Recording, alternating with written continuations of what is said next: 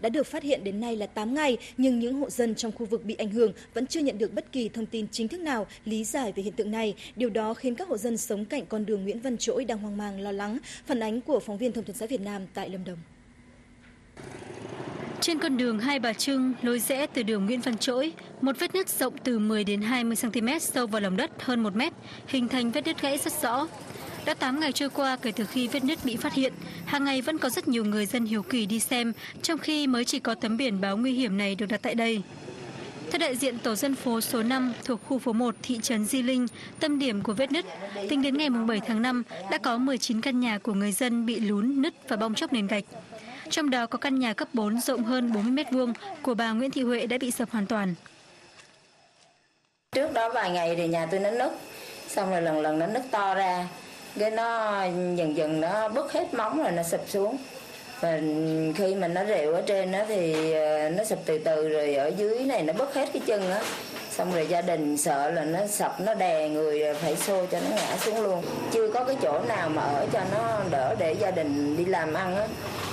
Không biết là chính quyền người ta có ờ, khảo sát nhanh cái khu đất này có ở được nữa hay không.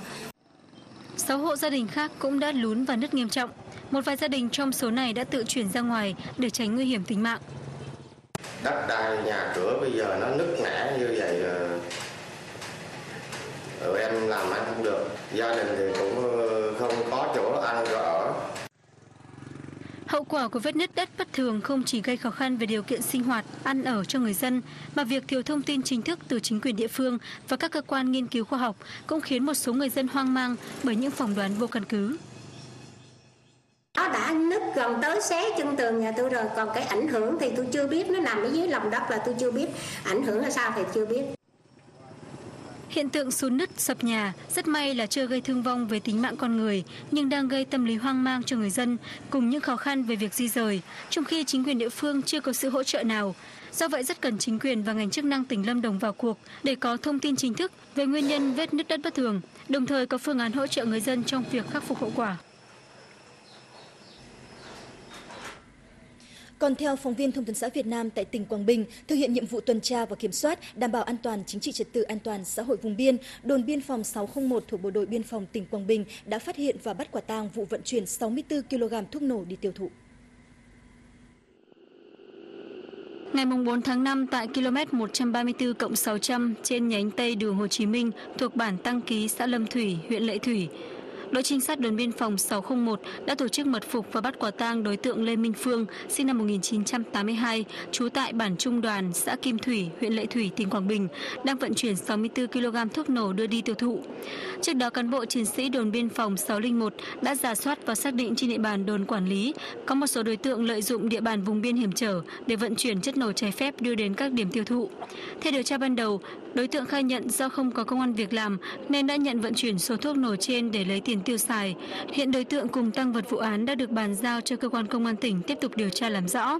Trong những năm qua, nhờ thường xuyên bám sát cơ sở, tăng cường tuần tra kiểm soát vùng biên, cán bộ chiến sĩ đồn biên phòng 601 đã phát hiện và bắt giữ 9 vụ tàng trữ, vận chuyển, buôn bán trái phép các loại chất nổ, góp phần ổn định an ninh biên giới.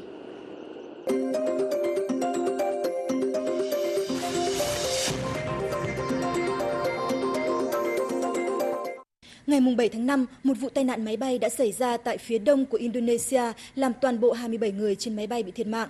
Người phát ngôn của Bộ Giao thông Indonesia, ông Bambang Evan cho biết, chiếc máy bay MA-60 thuộc hãng hàng không Merpati Nusantara của nước này đã rơi xuống vịnh Kaimana khi đang chuẩn bị hạ cánh xuống sân bay Kaimana. Chiếc máy bay này cất cánh từ thành phố Sorong thuộc tỉnh Tây Papua.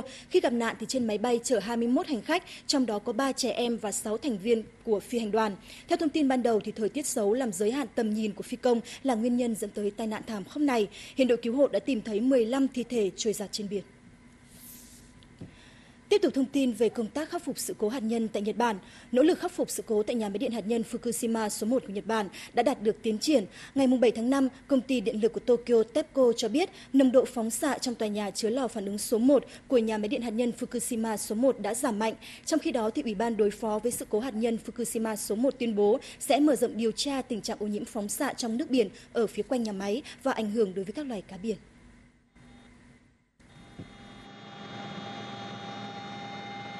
Theo TEPCO, nồng độ phóng xạ ở tòa nhà chứa lò phản ứng số 1 đã xuống thấp tới mức các nhân viên có thể vào tác nghiệp nếu đeo mặt nạ phòng độc. Do đó, TEPCO sẽ tiếp tục cho tuần hoàn khí để khử chất phóng xạ và cho nhân viên vào đo mức phóng xạ trong tòa nhà này, sau đó sẽ thảo luận việc bắt đầu cho nhân viên thực hiện các công việc tại đây. Việc khởi động hệ thống tuần hoàn khí khử phóng xạ trong tòa nhà chứa lò phản ứng số 1 đã được bắt đầu từ chiều ngày 5 tháng 5 và nồng độ đồng vị phóng xạ iốt đã tăng từ 0,0025 BQL trên 1 cm khối lên 0,01 BQL trên 1 cm khối. Sau đó, nồng độ phóng xạ bắt đầu giảm và đến sáng ngày 7 tháng 5 đã xuống mức 0,005 BQL trên 1 cm khối. TEPCO cũng thông báo sẽ thay đổi đường bơm nước vào lò phản ứng số 3 với việc chuyển từ đường bơm nước dùng trong trường hợp khẩn cấp sang đường bơm nước trực tiếp vào lò. Từ cuối tháng 4, nhiệt độ trong lò này có xu hướng gia tăng nên TEPCO cho rằng lượng nước làm mát trong lò chưa đủ và cần tăng lượng nước bơm vào lò. Cũng trong ngày 7 tháng 5, Ủy ban đối phó sự cố nhà máy điện hạt nhân Fukushima số 1 đã tuyên bố sẽ mở rộng điều tra tình trạng ô nhiễm phóng xạ trong nước biển quanh nhà máy và ảnh hưởng đối với các loài cá biển. Theo quyết định của Ủy ban này, số địa điểm thu mẫu nước sẽ tăng từ 48 lên 105 và số loài cá là đối tượng điều tra cũng tăng lên, không chỉ là các loài cá sinh sống ven bờ mà kể cả các loài cá du cư. Cuộc điều tra sẽ kéo dài đến tháng 12 năm nay. Từ khi xảy ra sự cố đến nay, TEPCO đảm nhận việc giám sát mức độ ô nhiễm trên biển ở trong phạm vi 30 km từ nhà máy điện hạt nhân Fukushima số 1 và các vùng nước nông ven biển. Trong khi đó, Bộ Giáo dục và Khoa học cùng Cục Bảo an trên biển đảm nhận việc giám sát, điều tra, phân tích mức độ ô nhiễm ở các vùng nước sâu trong khu vực bán kính 30 đến 40 km tính từ nhà máy điện hạt nhân Fukushima số 1. Tuy nhiên, do khu vực phát hiện chất phóng xạ đã lan rộng và xuất hiện ảnh hưởng đối với các loài cá biển, nên Nhật Bản đã mở rộng điều tra đến vùng biển ngoài khơi các tỉnh từ Miyagi đến Ibaraki. Nếu phát hiện phóng xạ trong cá cao hơn tiêu chuẩn quy định, chính phủ Nhật Bản sẽ yêu cầu không đánh bắt cá. Sau đó, các cơ quan chức năng sẽ tiến hành kiểm tra mỗi tuần một lần. Khi nào kết quả kiểm tra 3 lần liên tiếp cho thấy phóng xạ ở mức cho phép thì sẽ cho đánh bắt trở lại.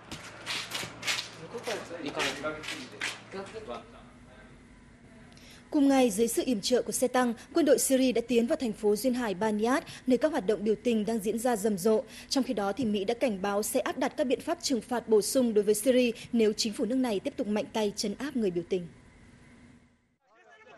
Điện và thông tin liên lạc đã bị cắt khi đoàn xe tăng của quân đội chia làm ba tốp tiến vào khu vực phía nam thành phố Baniad, nằm bên bờ biển Địa Trung Hải. Đây được xem là thành trì vững chắc của lực lượng biểu tình chống chính phủ Syria. Những người biểu tình đã xếp thành những hàng dài để phản đối động thái trên của quân đội. Quân đội Syria cũng đã sử dụng xe tăng bao vây thị trấn Baida, đồng thời điều một tàu quân sự tuần tra ở ngoài khơi vùng biển này.